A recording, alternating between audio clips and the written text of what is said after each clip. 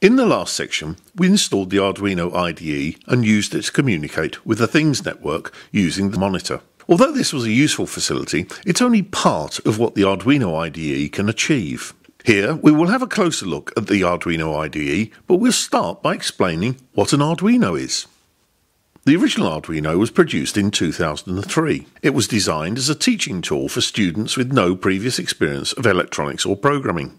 It's a very simple board with a series of inputs and outputs that are all presented on these headers that make connecting other devices very simple. Complete boards of electronics called HATs have been designed that plug directly in on top of these headers, and many may be cascaded into stacks. The main device on the board is the microcontroller, which is a very cheap device that can be programmed to continuously loop through a set of simple instructions. The Arduino is not like the Raspberry Pi that has a microprocessor that is programmable and has an operating system that communicates with the user and controls the devices around it, like screen and Ethernet port. The Arduino is far less powerful. Its small programs, called sketches, have to be written on another machine, turned into commands that the Arduino understands. This is called compiling. Then the prepared compiled code is then uploaded onto the Arduino where it is run or executed. All of the details as to how to build an Arduino have been published to allow it to be copied. This is called open source, and is one of the reasons why the Arduino has become so popular. Another reason is that it's simple to expand and adapt. It's called extensible. Over the years, the original Arduino has been developed into a large family of more powerful units. Learning to code with a Uno is therefore a useful skill that can build and develop with time.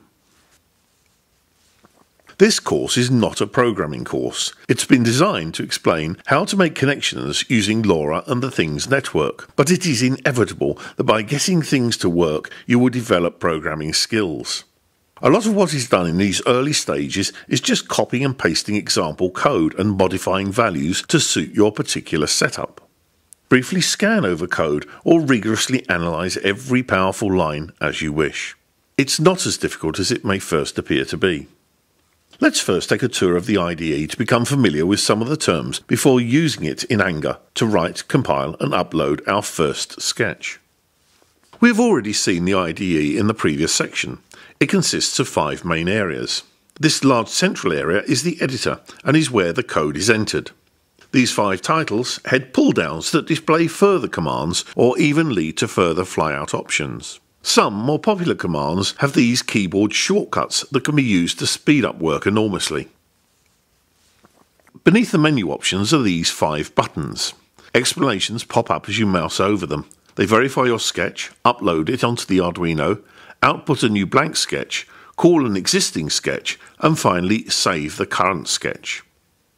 Alerts will appear in this progress bar and errors shown on the black screen below. Status information is provided along the bottom line here. And finally, the serial monitor, used before, can be opened by clicking on this icon here. Before we can write our first sketch, we have to prepare the IDE for our particular setup.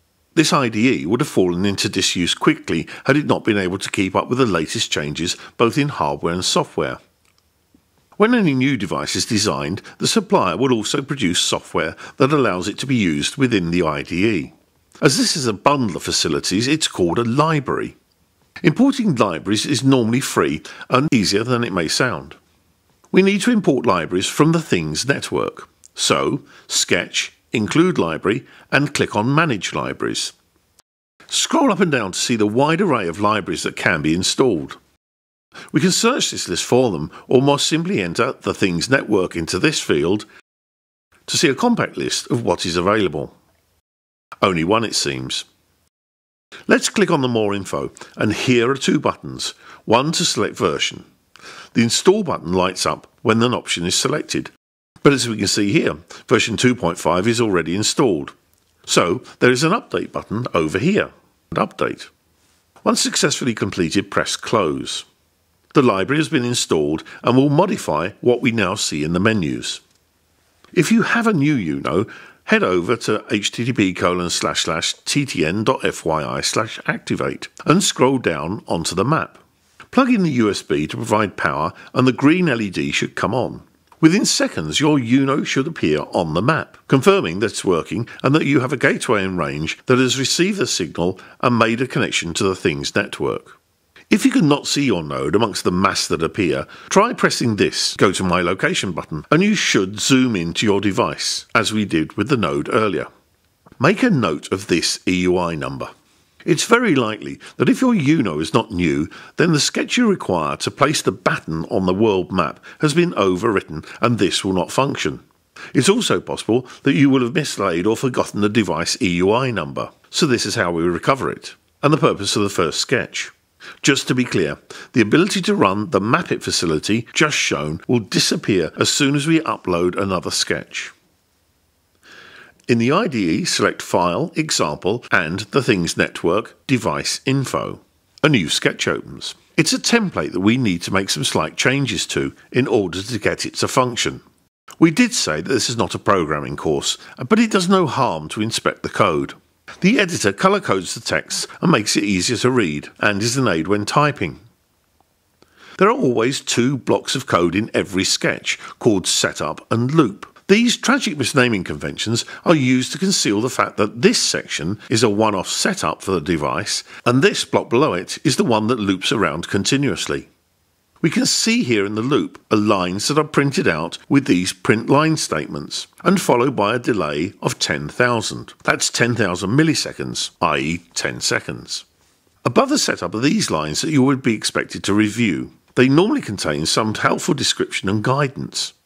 Double slash at the front of a line means it's a comment meant for human consumption and ignored by the compiler. And here it plainly says replace the replace me in the line below with either of these two options, which you could take a guess from the numbers 868 and 915 are the radio frequencies used in Europe or the US. With this patch made, the code is now ready for upload to the UNO, but we have some final checks to do. We need to tell the IDE what board is being used and where it is connected. We have to fess up to a slight lie here. The Uno is not a Uno, it's an Arduino Leonardo. So select Tools, Board, Arduino Leonardo. We only need to do this once per session, and I will still keep calling it a Uno for brevity. The IDE now knows what board it's dealing with, but where is it connected? Click on Tools, Ports, and when I'm lucky here, as I only have one option. That makes it a simple selection. You may have to experiment with the options if you have more than one. Should you have problems, try disconnecting the UNO and seeing which option disappears. I'm using a Windows machine here. Ports in Linux and Mac have different names. This again needs only to be selected once per session. With the board and the connection chosen, we can proceed. We can begin by checking for errors in the sketch. So click on the verify icon. It turns orange, and the words compiling sketch appear here, and the progress is displayed in this bar here. It's only a simple sketch, so she'll compile quickly. The details appear in the black screen, and everything here is all white. Compilation is good. Again, a quick inspection of some of this feedback appearing here says that 21% of the program storage space has been used, and that's only running a tiny sketch like this. Now we want to upload the sketch into the UNO, so press the Upload button. The compilation phase is run again, followed by the upload, with the bar here charting the progress again. If all progresses well, no errors are displayed, and this horrible phrase, done uploading, appears. The UNO will run code automatically as soon as the upload is completed. To see what's going on, click on this serial monitor button. There are the lines printed out just as the sketch commanded. Here is the EUI we need. Job done. We will press on now, completing the connection between the Things Network and the UNO. Log into the Things Network console and on this Application Gateway page. It appears to be a little backward, but before we can register a device, we have to register an application. All will become clearer with a little use. Select Application and Add Application to see this Add Application page. Enter your choice of application ID. Once again, there are restrictions. Only use lowercase characters and avoid using punctuation and spaces. The box will turn orange as a warning if it detects any errors. This is actually quite a nice design. In the description box, any phrase is acceptable. We have already come across the Dev EUI, the device extended unique identifier, that uniquely identifies the UNO.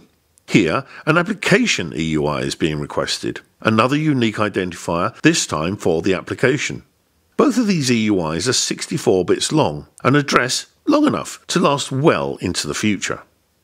You can enter your own, but my advice would be to allow the system to allocate one for you. Note these green dots at the end of each field, confirming that everything is progressing well. Finally, the handler that deals with the application. Again, leave this as a system defined default, currently TTN handler. Click on the green Add Application button to reveal this overview page, displaying the range of settings. This block displays the application ID and the description entered a moment ago, and a live update confirming the time of creation. The System Application EUI is also displayed. Clicking on this icon copies the application EUI to your clipboard. With the application successfully generated, we can now move back to the device. There are currently zero registered devices so far, so let's add our UNO. Click on Register Device. The Register Device screen appears, and the will to live starts to drain away at the sight of this set of four entries that are all required. The style of operation by now should start to become familiar. Enter a device ID. Again, enter your choice. Only use lowercase and no punctuation or spaces. Next, enter the device EUI this is exactly 8 bytes long and is the dev EUI we discovered for the device. Again, allow the system to select an app key, and the app EUI has been presented from the previous page. Now click Register. The green confirmation should appear. Return to this device overview page. The overview links the device EUI and a new entry, the app key. Clicking on this small eye icon reveals the key, and clicking on this clipboard icon makes a copy in the clipboard so it can be pasted in quickly later on. Notice here so far, TTN has not seen this device. Amber, never seen. Now scroll to the base of the screen and select Copy to make a copy of these two lines in your clipboard. Returning to the IDE, select File, Examples, the Things Network, Quick Start. Here's another template. At the top, the app EUI and app key. These must be overwritten with the details copied over from the Things Network page. Beneath this is the frequency plan Replace Me that has to be overwritten with the correct frequency for your region as before. Close the serial monitor if it's still open. Looking briefly through the code, we see the 10 second pause for the serial monitor and some reference to status and join statements. When the sketch is compiled and uploaded, the UNO will immediately begin its radio transmissions. These will be received by a local gateway and forwarded to the Things network over the backhaul. If all is well, it should appear in the console. Pressing upload, the compilation of the sketch begins. We can see the progress, and once completed, the code is uploaded. Done. Only now open the serial monitor to see what is going on. First, the UNO needs to join the network, which has succeeded, and now just loops continuously. For this demonstration, let's rearrange the screen. On the right, we have the Things Network console coming across the internet from the European handler, and on the left, the IDE, the serial monitor from the UNO, connected by USB cable on the bench next to me here. Over on the Things Network console, we can send data using this field. Entering the value 00 and pressing send, there's a pause and the received zeros appears on the UNO monitor and the LED goes off. Conversely, entering a single byte 01 on the web page and pressing send, pause again, and the confirmation that the 1 has been received by the UNO and this LED lights. It feels like a bit of a cheat that all this is appearing on the same screen, but the ones and zeros entered into the web are transmitted over the internet to the gateway, and then via radio to the UNO. The UNO reacts and sends confirmation via radio back to the gateway and via the backhaul again to the Things Network server, to be seen here on the screen. This will all just loop continuously. There's a good deal to be unwrapped here in this simple transmission of the 1 and the 0 to turn the LED on and off. Returning to the console, by clicking on the application data and this clear, the packets received by the gateway and forwarded to the European handler can be seen more clearly, popping up every 10 or 12 seconds or so. Here is the growing list of them in real time and the counter for each packet received. If we jump back and send a 1 from the console, it's sent to the gateway and the LED changes. On the console, we can see the change of state being reflected back by the UNO. It works. Now, clicking on the pause button stops the display and allows us to have a closer look at the extra data that comes in with each of the packets. It's called metadata, data about data, as it were, and is shown in what is called JSON format, defined by all of these braces, commas, and brackets. We will look at JSON more fully later. All of the data is visible, but it may need explanation. It begins with a date and time stamp. Notice the precision possible in the seconds field. Next is the frequency of the radio signal. It turns out that gateways use any of 10 discrete frequencies in the background. They bounce around almost randomly. The modulation is LoRa. Well, this is LoRaWAN, so what would you expect? The next line, data rate, does require a little explanation, as it lies at the heart of the LoRaWAN system.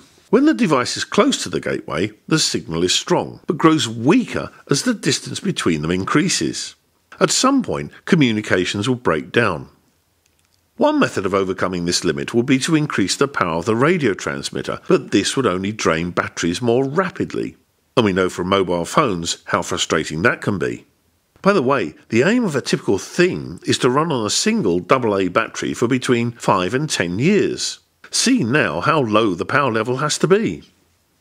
In LoRa, the range problem is overcome by spreading the transmitted signal at half the rate for double the time, speaking more clearly, as it were, in order to get the message across. When that fails, as the distance increases further, it spreads it further, halving the rate and doubling the time again.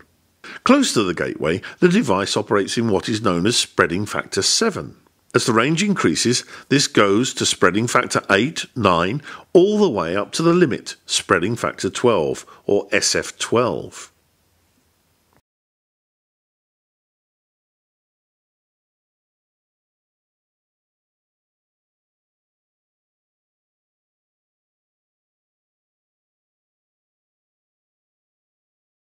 We can see here that the SF value is 7, a good strong short burst as it's nearby. Code rate never changes and is always 4 to 5 on current systems.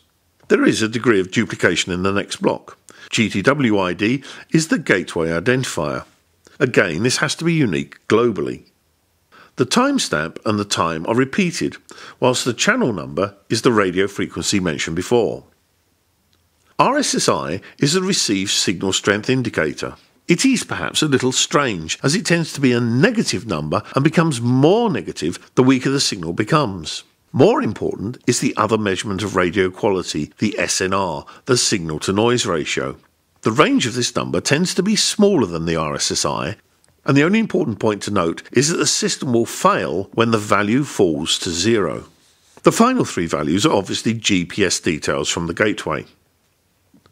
We've covered a good deal in this section, programming the UNO to discover its own device EUI, and then reprogramming it to receive a value from the Things Network console, control the onboard LED, and convert the value back to the console.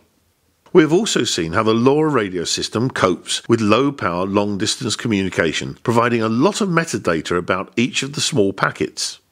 We've seen how long we expect a remote device to live on a simple small battery. The radio transmission slows down the further away these devices are. In the coming sections, we will look more closely at what is happening and how the system deals with the problem of becoming progressively slower.